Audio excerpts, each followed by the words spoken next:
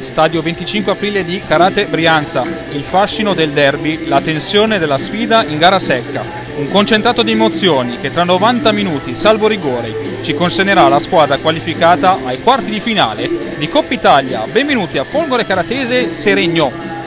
Ampio turnover in entrambe le squadre, Longo sceglie là davanti nel suo 4-4-2 Bartulovic e Di Stefano.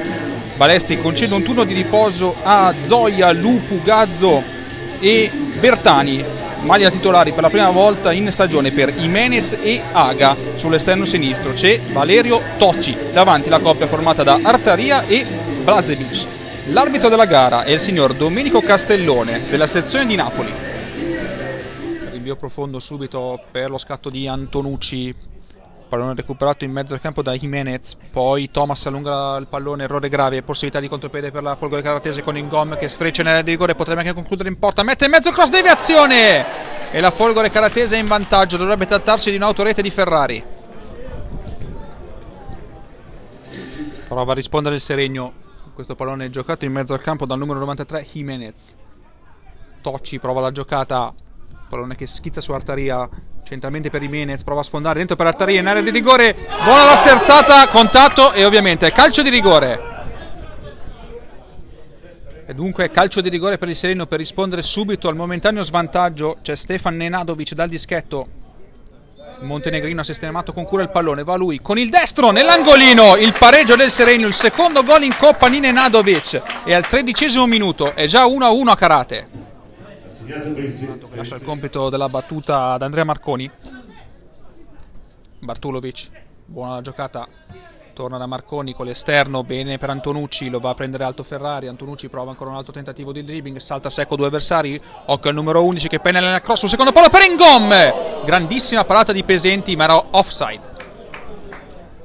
Nenadovic Buono lavoro del numero 14 in mezzo al campo, viene esteso, non è di questo avviso l'abito. Allora contropiede della Folgore Caratese con Di Stefano. Occhio alla giocata del numero 10, salta secco tra avversari, entra in area di rigore, guarda in mezzo, pensa forse alla conclusione, la fa partire, deviazione, Pesenti, fa su il pallone. Lancio profondo su Blazevic, il buco difensivo della Folgore, Blazevic col destro! Non perdona mai Vlatko Blazevic!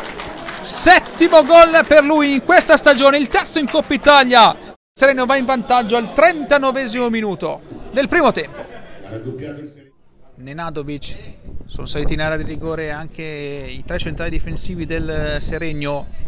C'è l'ok dell'arbitro, va Nenadovic, traiettoria bassa, messa fuori, pallone che schizza sul secondo palo, ma arriva il fischio del signor Castellone che manda momentaneamente le squadre negli spogliatoi. Seregno avanti 2-1 all'intervallo con il gol sul rigore di Nenadovic e la giocata di Blazevic nel finale del primo tempo. Dopo un lungo intervallo a causa dell'infortunio corso al guardalino il Filali che ha una contrattura, vedremo se riuscirà a proseguire da qui al termine della gara. Tutto pronto per l'inizio del secondo tempo, si riprende sul risultato di 1-2 in favore del Seregno.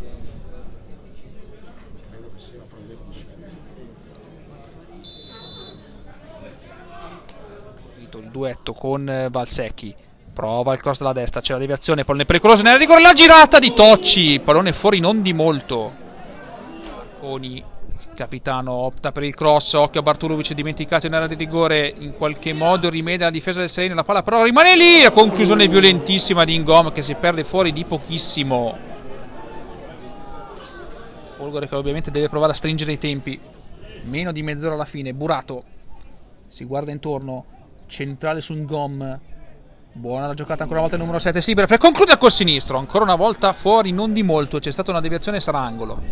Bertani, grande idea, allarga sulla sinistra per l'accelerazione di Toci. Può prendere il campo il numero 19, al limite della rigore. Nuovo il tocco per Bertani, non riesce nel dribbling. La palla schizza poi su Invernizzi. Occhio ad Invernizzi in area, mette in mezzo il cross. Anticipato Artaria. Marconi, mentre pronto un altro cambio per la Folgore. Marconi opta per il cross, diventa quasi un tiro. Viene sorpreso Pesenti, la distanza siderale, il gol da parte di De Rosa, 2 a 2.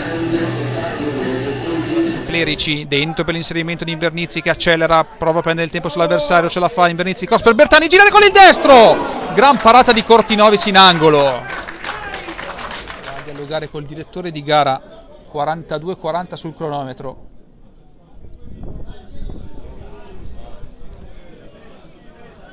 Colloquio tra il direttore di gara e il suo assistente.